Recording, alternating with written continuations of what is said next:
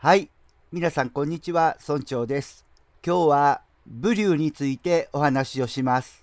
皆さんは、YouTube を始めたいなとか思っている方もおられるでしょうが、会社の都合で顔出しができないなとか、そもそもなんか顔を出すのって嫌だな。それに関連して声も自分の声じゃ嫌だな。そんな風に思っている方はたくさんおられると思います。そういう方が顔も出さないで声もナレーションの声に変えて自分の思いを発信していく。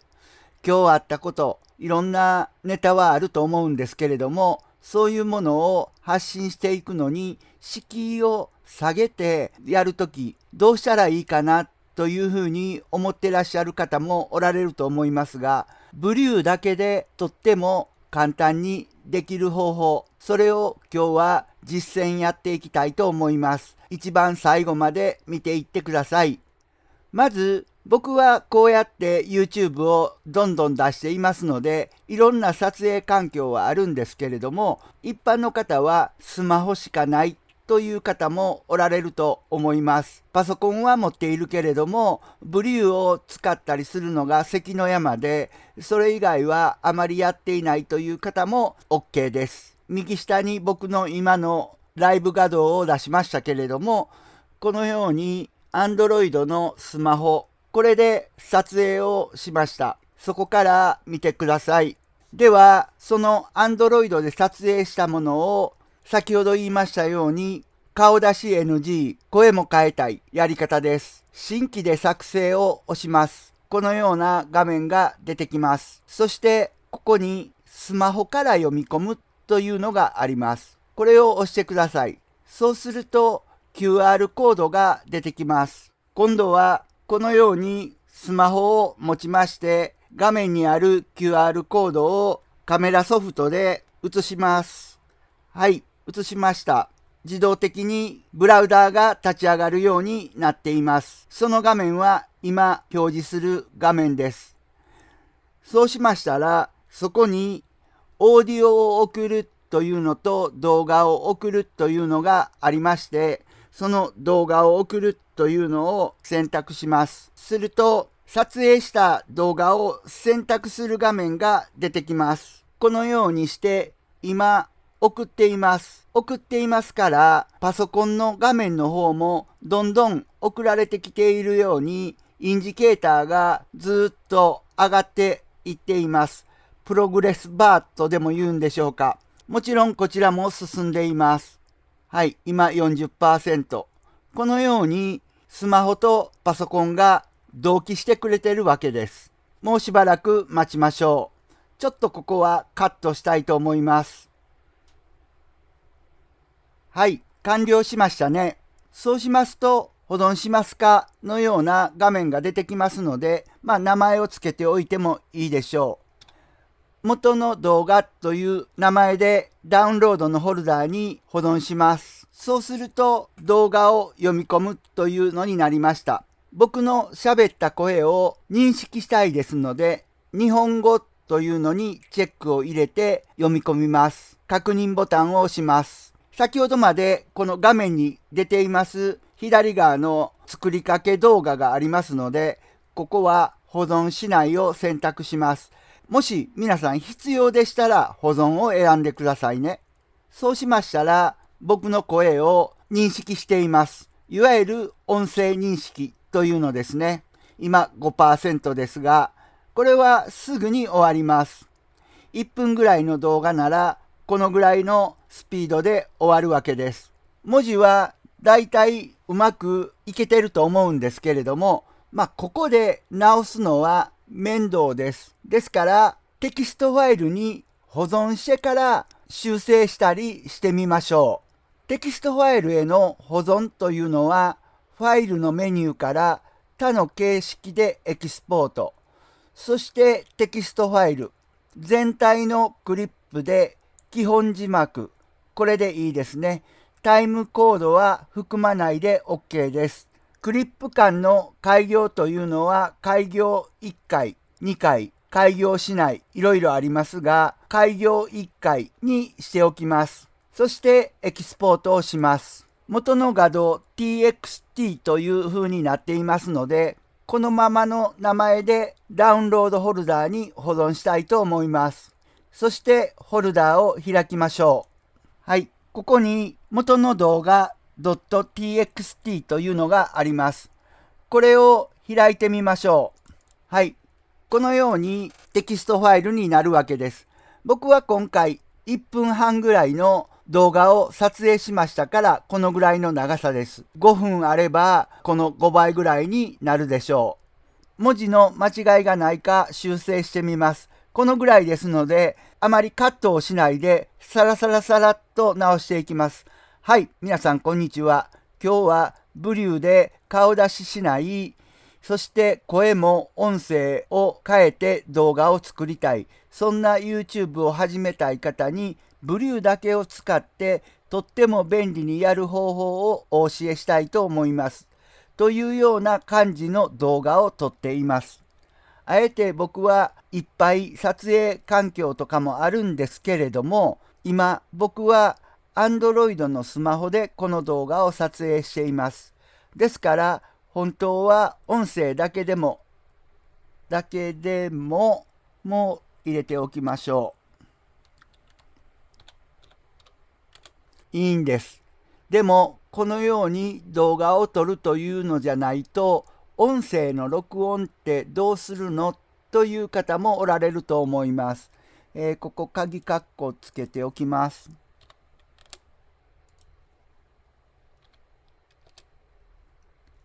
ハテナもつけておきます。いわゆるカメラでこのように音声をやればいいだけですので動画というのを撮る方が皆さんも慣れていると思います。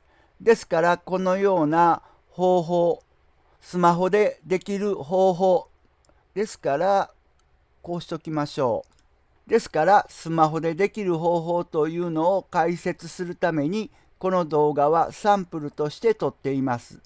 では、これをブリューを使って変換していきたいと思います。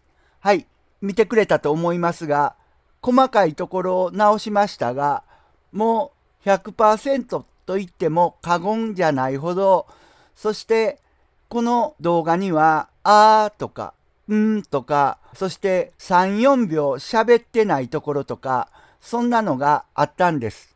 でも、こんな綺麗に日本語を解析して、そしてテキストファイルにできたわけです。さあ、これからはたくさん動画を皆さんに出していますように、この文章からですね、動画を作っていく。たったそれだけです。では、これをコピーします。そうしまして、新しくまたブリューを立ち上げましょう。テキストからビデオを生成。そして今のものは保存しないでいいですから保存しないとします。テーマ。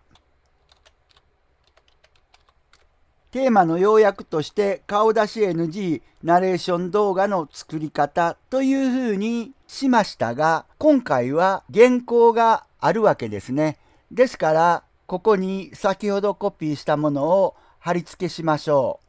これが原稿そのものになるわけです。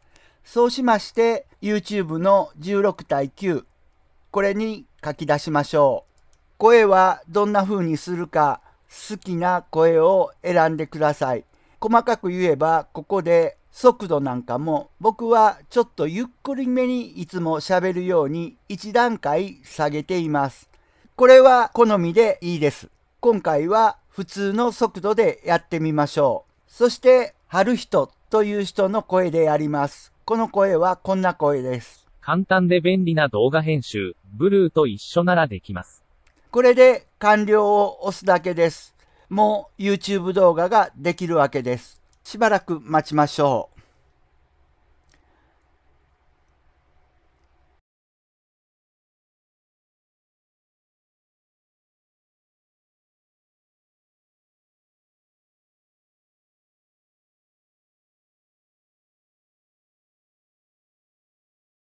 はい。この程度の時間で動画はできるようになっています。1分でしたら今2、30秒でしたよね。こんな感じで出来上がったわけです。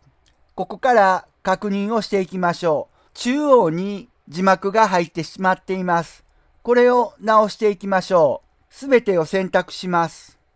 書式から1というので、下の位置に下ろします。まあこんな感じでいいでしょう。そして確認をしましょう。文字はもう間違いがないですから、読み上げ方に間違いがないかをテストします。はい、皆さんこんにちは。今日は、ブリューで顔出ししない。そして声も音声を変えて動画を作りたい。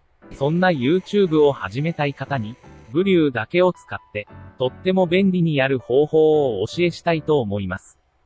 というような感じの動画を撮っています。あえて僕はいっぱい撮影環境とかもあるんですけれども、今僕は Android のスマホでこの動画を撮影しています。ですから本当は音声だけでもいいんです。でもこのように動画を撮るというのじゃないと。音声の録音ってどうするのという方もおられると思います。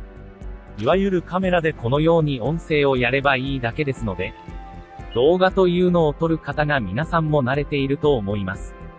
ですからスマホでできる方法というのを解説するために、この動画はサンプルとして撮っています。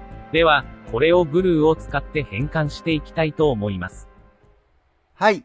一箇所だけ思いと違うところがありました。ここです。動画というのを撮る方が皆さんも慣れ。はい。撮る方がじゃなくて、撮る方がと読ませたいわけです。音声修正というのをやります。この時はもうここの部分をひらがなで打ち替えます。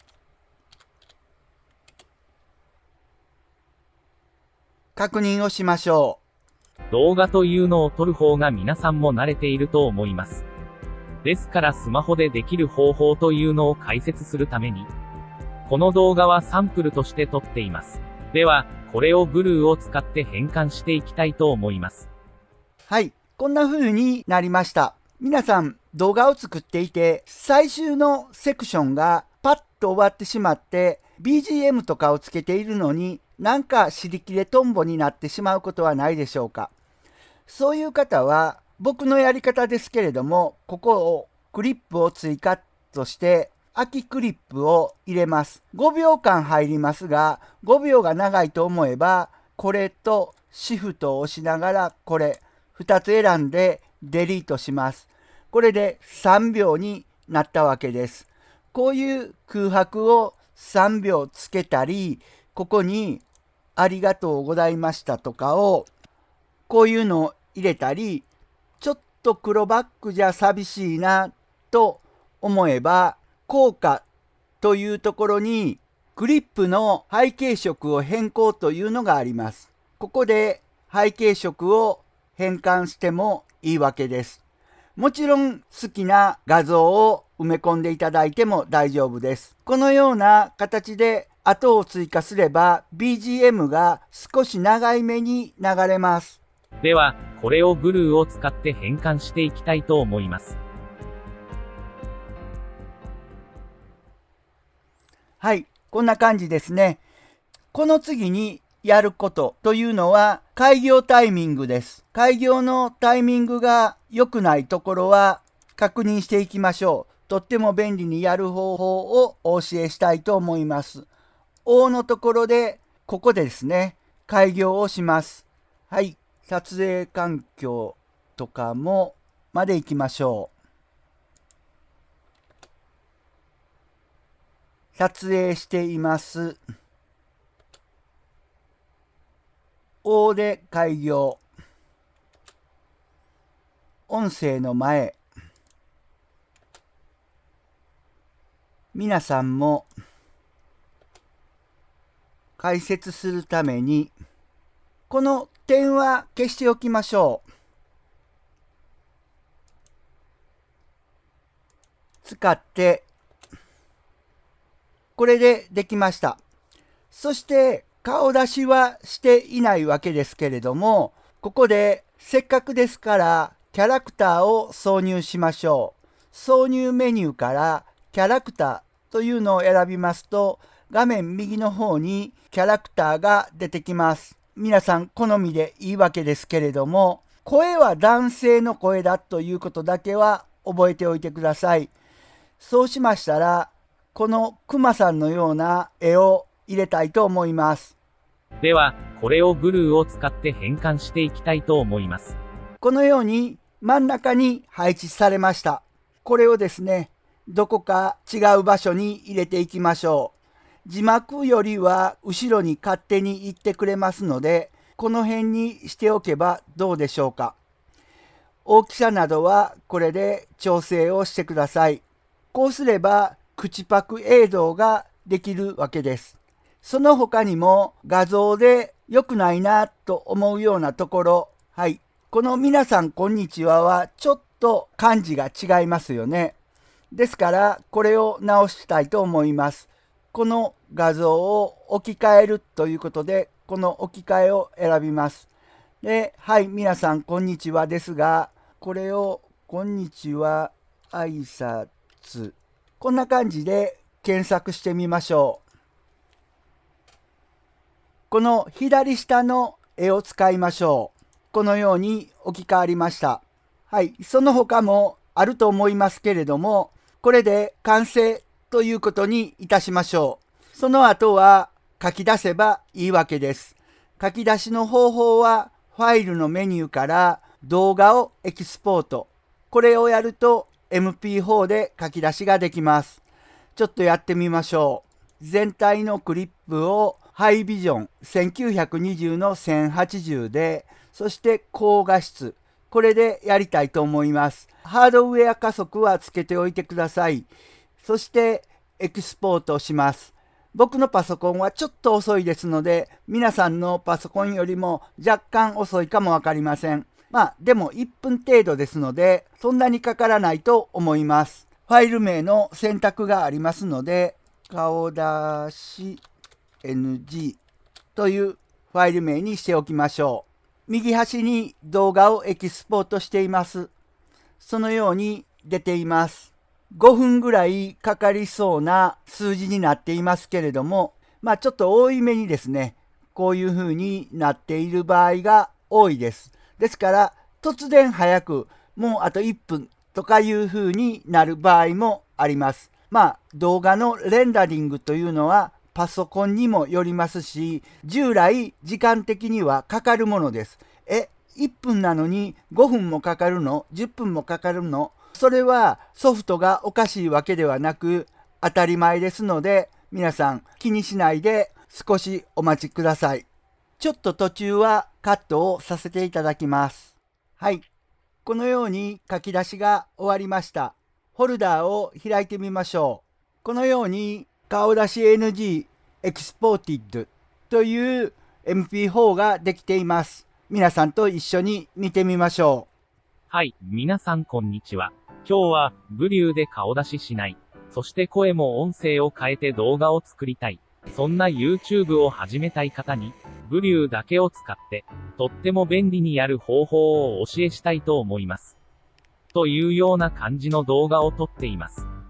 あえて僕はいっぱい撮影環境とかもあるんですけれども、今僕は Android のスマホでこの動画を撮影しています。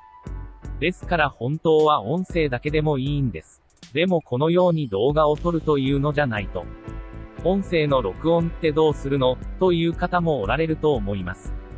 いわゆるカメラでこのように音声をやればいいだけですので、動画というのを撮る方が皆さんも慣れていると思います。ですからスマホでできる方法というのを解説するために、この動画はサンプルとして撮っています。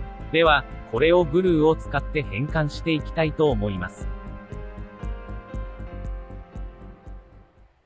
はい。こんなような動画が完成したわけです。参考のために元の動画がどうであったかというのも少しだけ見ておきましょう。一応ドロップボックスにこのように入れました。この動画ですね。これを見ていただきましょう。はい。皆さん、こんにちは。今日は、 Vrew で、顔出ししない。そして、